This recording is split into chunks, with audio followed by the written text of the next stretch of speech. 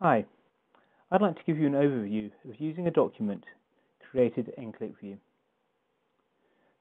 All you need to know is the colours green, white and grey. Take this simple data set here of fruits and colours.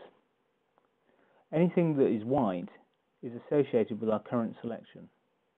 If we were to make a selection of tomato, we can see that green and red is associated.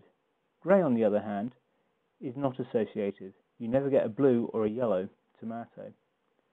So if we apply that to a larger data set, here we're taking a set of films with the associated directors and actors.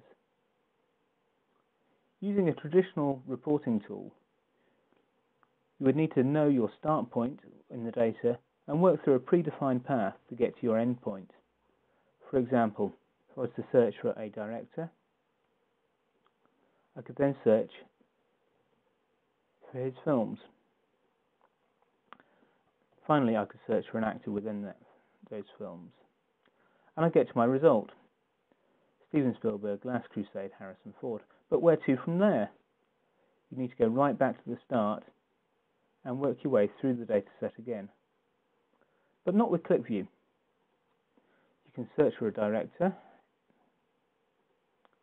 In the same way, search for a film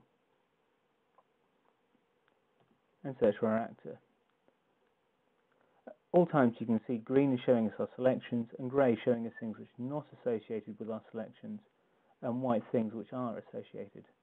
For example, we can now see which other films Harrison Ford and Steven Spielberg have worked on by deselecting the title and seeing what appears in white. We could then perhaps change our film, remove our actor, and see everyone else who worked on that film. We could then pick another actor and see the complete list of films they've been in. We might want to see who directed Trading Places.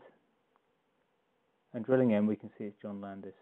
We can work away, our way around the data however we see fit. So how could that be applied? So, for example, we might want an evening in with a film. We want to watch something that's been rated 8 or above. Might want something from the 70s. And we might know that we've only got an hour and a half to spare so we can say less than 90 minutes. We then get the list of films that match that criteria. I think I'll choose to watch Monty Python. Obviously, QlikView can be applied to just about any data set, and there's a large number of demonstrations at demo.qlikview.com. I hope this has given you a good overview of how you would use a document created in QlikView. Thank you very much for watching.